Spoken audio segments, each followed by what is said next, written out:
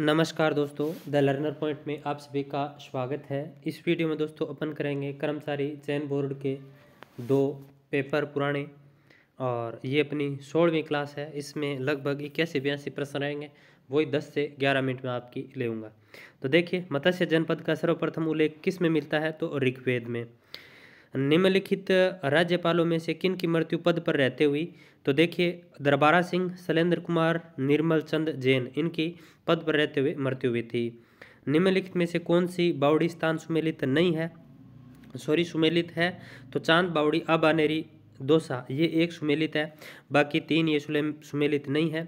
नौलखा बावड़ी डूंगरपुर में है, तिरमुखी बावड़ी डूंगरपुर में है, झालीबाव बावड़ी कुंभलगढ़ दुर्ग में है। झालीबाव बावड़ी और मामदेव कुंड। निम्नलिखित कथनों में से कौन सा खनिज खान सुमेलित नहीं है? तो सीसा जस्ता, राजपुर द्रीबा, लोहा एशक डाबला, मेघनीज काला खूंटा ये तीन सुमेलित है। तांबा, लीलवानी, ये सुमेलित नहीं है।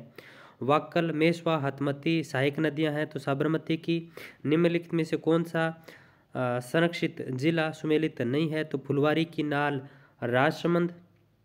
ये सुमेलित नहीं है, बस्सी चित्तौड़गढ़ सही है, केसरबाग धौलपुर सही है, शेरगढ़ बारा ये भी सही है। अगला देखिए, निम्नलिखित में से शिलालेख प्रशस्ति और उनके उत्कीर्ण वर्ष के सही जुड़े कौन से हैं? तो देखिए बिजोलिया शिलालेख 1170 चिरवा शिलालेख नौ सौ सत्तासी। अंचलेश्वर शिलालेख बारह सौ सत्तासी। कुंभलगढ़ प्रशस्ति सोलह सौ चौदह सौ साठ। तो देखिए, सात नंबर का राइट आंसर हो जाएगा। मतलब इसके नीचे बुक में वो आंसर दे नहीं रखे हैं। तो मैं वैसे ही बता देता हूँ, इसका ए बी और डी ये तीन है, वो सही है। यानी अंचलेश्वर शिलालेख बारह सौ पिचासी सही, बिजोलिया शिलालेख ग्यारह सौ सत्तर, कुंभलगढ़ प्रशस्ति चौदह सौ साठ, ये तीन सही है। चिरवा शिलालेख नौ सौ सत्तासी नहीं, ये बारह सौ तैतालीस या चालीस के आसपास का है। फिर देखिए, राज्य सूचना आयोग का गठन कब किया गया? तो अठारह अप्रैल दो हज़ार छह को। विंध्यन का गार किस प्रकार की चट्टानों से निर्मित है? तो बालू का पत्थर। जीवन भर दूल्हे के वेश में रहे जीवन भर दूल्हे के वेश में रहते हुए दादू के उपदेशों का बखान करने वाले संत कौन थे? रजब जी। पर्यूषण पर्व किस समुदाय से संबंधित है? तो जैन। अठारह के विद्रोह किसमें जोधपुर का शासक महाराजा तखत सिंह। प्रसिद्ध थिएटर निर्देशक शांता गांधी निम्नलिखित में से किस नाट्य शैली से संबंधित थी? तो भवाई। बिजोलिया शिलालेख में किस वंश के शासकों की उपलब्धियों का उल्लेख है? तो चौहान। राजस्थान का प्रथम रोपवे किस ज़िले में प्रारंभ किया गया था तो जालोर उपरमाल पंच बोर्ड का गठन विजय सिंह पथिक ने। और इसका अध्यक्ष मन्नालाल पटेल 1917 फिर देखिए, भारतीय रेल एवं प्रशिक्षण अनुसंधान अवस्थित है तो पंचपद्रा रमझोड़ किस प्रकार का लोकवाद्य यंत्र है तो घन आयोग, जिसने राज्यपालों के लिए पाँच वर्ष के एक निश्चित कार्यकाल की संस्तुति की तो पुंछी आयोग। राजस्थान के उत्तर से दक्षिण तथा पूर्व से पश्चिम विस्तार तो तियालीस किलोमीटर। राजस्थान का सर्वोच्च पठार तो उड़िया का पठार। निम्नलिखित में से कौन सा सही सुमेलित नहीं है? तो देखिए कंवर सेन बीकानेर, गंगानगर सही है। गंगानगर गंधेली सावा, ये चूरू और गजनेर, पन्नालाल, बारूपाल, बीकानेर, नागौर, राजीव गांधी, जैसलमेर। तो ये राजीव गांधी लिफ्ट नहर है, ये जैसलमेर से नहीं, जोधपुर से संबंधित है। फिर देखिए, राष्ट्रीय राजमार्ग चौवालीस राजस्थान के किस ज़िले से गुजरता है तो धौलपुर। बूंदी में चौरासी खंभों की छतरी का निर्माण तो राव अनिरुद्ध गोसुंडी सेलाले किस भाषाले में लिपिबद्ध है तो संस्कृत। ओल्यू, राजस्थान लोक जीवन के किस अवसर से संबंधित है तो पुत्र विवाह का विदाई गीत है। हुडा सम्मेलन किस वर्ष तो सत्रह सौ चौंतीस। सत्रह जुलाई सत्रह सौ चौंतीस।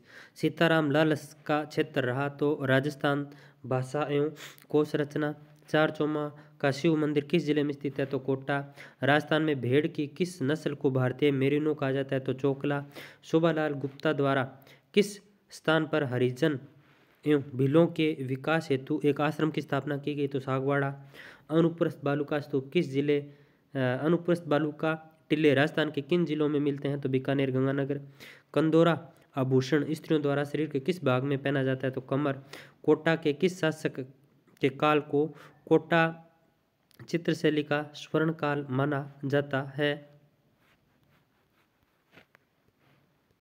तो इसका राइट आंसर हो जाएगा महाराव उमेद सिंह फ़र्स्ट आगे के दोस्तों चार पाँच प्रश्न है, उनकी मैं पिक ले नहीं पाया, मैं वैसे ही बता देता हूँ इस पेपर के।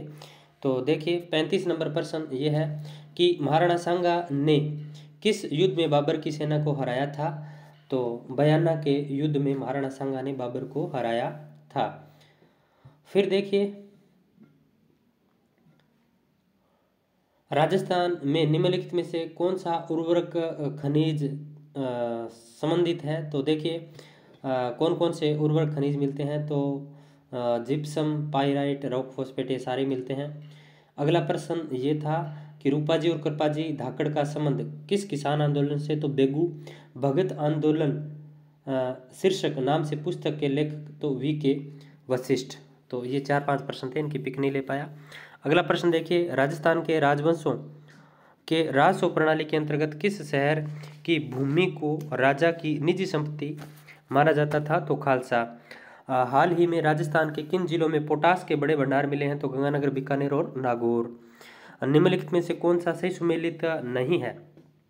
तो बसंतगढ़ शिलालेख सिरोही सही है, मानमोरी चित्तौड़गढ़ सही है, चिरवा शिलालेख उदयपुर ये भी सही है, घटियाला शिलालेख जैसलमेर ये सही सुमेलित नहीं है। किस मेवाड़ शासक के समय जावर की खान में चांदी प्राप्त हुई? तो महाराणा लाखा। लटियाल माता का मंदिर राजस्थान के किस स्थान पर अवस्थित है? तो फलोदी। चित्तौड़ के द्वितीय शाखा में किस रानी ने ज़ोर किया? तो कर्णावती। निम्नलिखित में से कौन सा घन लोकवाद्य यंत्र नहीं है तो बांकिया नहीं है। मंजीरा चिंपिया हाकल ये है। राजस्थान के किस नरसहार को गांधी जी ने दोहरी डायर शाही की संज्ञा दी? तो नीमूचाणा जिंगोली का युद्ध 1807 में लड़ा गया तो जयपुर और जोधपुर के मध्य। तो देखिए, जय जय जय। जैसे जिंगोली, जैसे जयपुर, जैसे जोधपुर के मुद्दे लड़ा गया। सीप एक है, अनुधेरे बालू का स्तूप है। मार्च 2020 2020 तक राजस्थान में रेल मार्गों की कुल लंबाई तो उनसठ अठानवे। निम्नलिखित में से कौन सी प्रथा विवाह से संबंधित है तो मुठ बराई।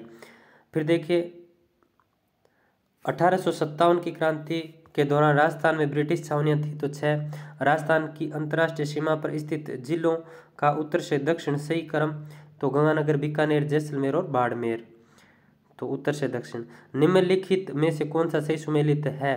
तो सोम कागदर, राज संबंध। सही सुमेलित नहीं है, ऐसे होगा ये। तो देखिए, सोम, कमला अम्बा परियोजना डूंगरपुर से संबंधित है सावन बादो कोटा से नोहर, सिद्धमुख, हनुमानगढ़, चूरू से संबंधित है। सोम का अक्दर ये राजसमंद से संबंधित नहीं है।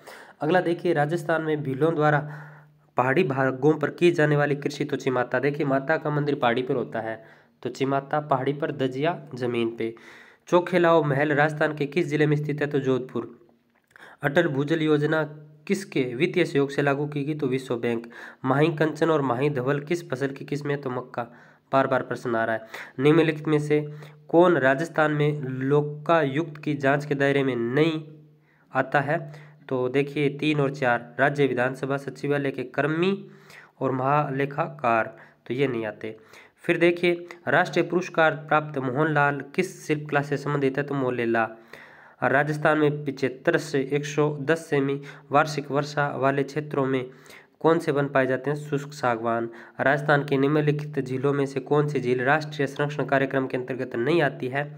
तो कोलायत नहीं आती आना सागर पिछोला फतेह सागर आती है। निम्नलिखित में से कौन सी राजस्थान में लोकनाट्य शैली नहीं है तो ढाडी नहीं है। संवाग रम्मत, ख्याल है।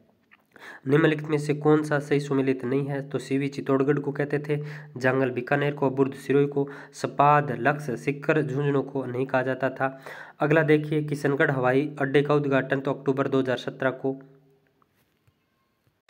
अगला देखिए, राजस्थान लोक सेवाओं के प्रदान की गारंटी अधिनियम 2015 के बारे में अधोलिखित कथनों को पढ़िए। इसकी शुरुआत 15 सरकारी विभागों की 108 सेवाओं से की गई, सही है। सेवा प्रदान करने की निर्धारित अवधि की गणना में राजकीय अवकाशों को छोड़ा जाता है। ये भी सही है। वरद राजस्थान का उद्घाटन 30 मार्च उन्नीस को सरदार वल्लभ भाई पटेल, चित्रकार जो अपने आदमकद चित्रों के लिए जाने जाते हैं तो जयपुर का साहिबराम कौन सा वन्य जो अभ्यारण काले, हिरण और कुंजा के लिए प्रसिद्ध है तो तालछापर कौन से ज़िले गजनेर लिप्ट नहर से लाभान्वित होते हैं तो बीकानेर और नागौर। अखातीज वैशाख में आती है। बड़ली का शिलालेख जो कि अशोक के काल से पूर्व का माना जाता है, कहाँ का है? अजमेर। ददी माता का मंदिर गोट मांगलोद नागौर।